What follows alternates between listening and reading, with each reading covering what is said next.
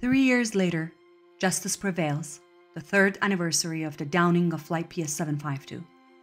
The downing of Flight PS 752 represents yet another link in the chain of crimes that have victimized the Iranian people. 176 innocent lives were lost on the cold morning of January 8, 2020. In an unprecedented example of state crimes and aviation history, the Islamic Revolutionary Guards shot down Ukrainian Flight PS 752 only three minutes after takeoff from the Tehran International Airport. Thus began a painful journey for the victims' surviving family members who deserve justice through a transparent, impartial trial. What happened? Why did it happen? Who are the real perpetrators of such a crime? What is our collective responsibility to help put an end to such inhumanity? Three years later, the families of the victims of Flight PS 752 have no answers to these questions. The doomed destiny of Flight PS 752 posed a serious challenge to the free world that must finally live up to its values. So far, the responsibility has fallen on the shoulders of hundreds of mourning family members who lost their loved ones to keep justice and human rights at the forefront of the fight against tyranny. Within hours of the downing of Flight PS 752, the Iranian government set in motion a machinery of deceit, lies, and distortions. Their domestic propaganda machine and foreign apologists and operatives were mobilized to whitewash the crime. After three days of denial and only under international pressure, the Islamic Revolutionary Guards of Iran finally admitted to the downing of the passenger airplane, but they refused to comply with international law and regulations and insisted on human error as the cause of the downing without any transparency or cooperation to produce evidence. The families were helpless in compelling the Canadian, Ukrainian, British, Swedish, and German governments who lost citizens and residents on the flight to hold the Islamic Republic accountable towards its obligations. Within five hours of the downing, the crash site was destroyed by bulldozers, but the international community remained silent. Not even a simple condemnation was tabled at the ICAO. The world faced an absurd situation where the very perpetrators of a crime were given the responsibility to investigate their own crime and produce a report on how their own military apparatus shot and downed a civilian airliner. Within months of the downing, the families took it upon themselves to form an association and, with the help of hundreds of volunteers and tens of thousands of supporters and donors from around the world, they embarked on the long and arduous road to justice, a road without a roadmap. When the Iranian government published its final report that was no more than an attempt to whitewash their crime and shield the implicated high ranking military and political officials, Dr. Agnes Callamard, the UN Special Rapporteur on extrajudicial, summary, or arbitrary executions, put the spotlight on the tragedy. The reckless nature of the mistakes have led many, including myself, to question whether the downing of Flight PS 752 was intentional. Mr. Ralph Goodale, Canada's special advisor to the Prime Minister, published his responding report that highlighted numerous unanswered questions and emphasized the shortcomings and inadequacies of Iran's final report. Mr. Goodale remarked that Iran's final report was shambolic. By June 2021, the International Coordination and Response Group of five affected countries issued their notice of claim to the Iranian government. The association held a protest rally at the ICAO headquarters in Montreal to voice their frustrations and emphasize ICAO's role in their plight. The ICAO officials made no effort to meet the rally participants. ICAO's misguided reliance on neutrality only aggravates a situation where crimes are committed with blatant disregard for due process and transparency in good faith.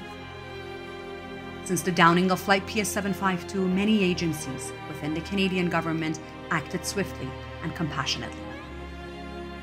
The Prime Minister appointed a task force within hours of the downing, and government officials were dispatched to help the families.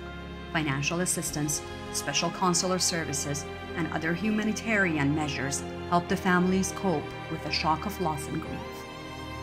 In August 2021, the association organized a truth rally in Toronto in anticipation of the upcoming federal elections in Canada. Thousands of supporters gathered around Toronto City Hall in solidarity with victims' families. Soon after the federal elections, the five affected countries sent a reminder notice to the Iranian government on their notice of claim from months earlier. This too failed to get any reaction from the Iranian government that was overtly evading justice. The victims' families persevered in their relentless insistence on truth and justice. They organized an information booth at the Frankfurt Book Fair to engage the international community. They continued to meet with government officials and insisted on action. November 20th, 2021 marked a significant landmark in the history of the association. The open wound in the sky was nowhere near healing. The Iranian government unilaterally proceeded with domestic legal proceedings by orchestrating show trials of unknown, low ranking personnel to further their agenda.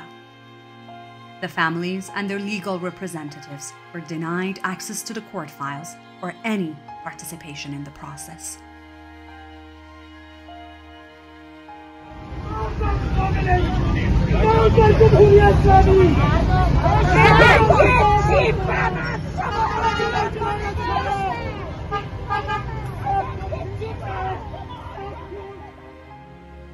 The association held a press conference on November 24, 2021, to unveil their 24 page fact finding report.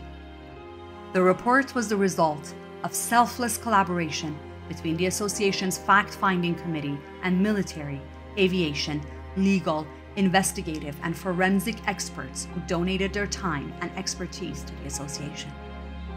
The association continued its insistence on the need for a proper investigation by an independent international body to address these shortcomings and reveal the truth.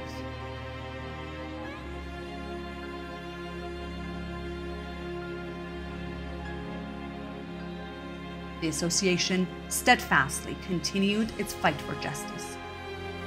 Numerous meetings were finally held with ICAO council members the association's fact finding report was sent to all ICAO members, but the organization refused to deliver them and returned hundreds of packages with no justifiable reason.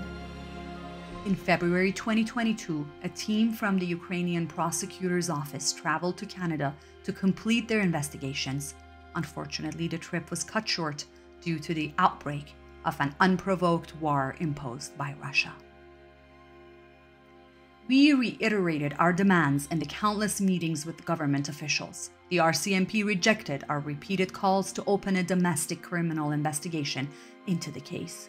The association called on the Canadian government to list the IRGC as a terrorist organization and to impose targeted sanctions on Iran officials who commit atrocities. In the spring of 2022, bizarre news surfaced in the Canadian and Iranian media. It was announced that the Islamic Republic of Iran's national soccer team was to travel to Vancouver to play a friendly game with the Canadian national team. The association raised its objections to this plan from day one, believing that this game was a sports washing scheme and an attempt to deceptively portray a normal image of the Iranian regime. After publishing an opt in the Globe and Mail, launching a public campaign to send letters to government officials, and finally planning demonstrations in front of the stadium, Canada Soccer changed its decision and cancelled the match. We are happy that they corrected the bad decision that they made. On September 14, 2022, the association filed its submission to the International Criminal Court on the basis of allegations of war crimes and crimes against humanity after months of investigations and consultations with expert lawyers. The submission provided more than 90 pages of evidence and analysis against those who had a role in the downing of Flight PS 752. To date, none of those affected countries have submitted a letter of support for this submission, and the court has yet to review and respond to the submission. In mid September, after the brutal killing of Mahsa Amini by the infamous morality police in Tehran, a revolution erupted in Iran under the banner of women, life, freedom.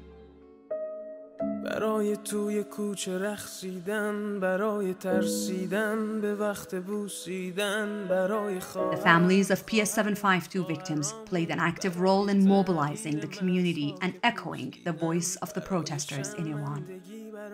By the 1st of October 2022, Tens of thousands of people gathered in cities across Canada and the world to stand in solidarity with their courageous compatriots inside Iran in rejection of the Islamic Republic regime.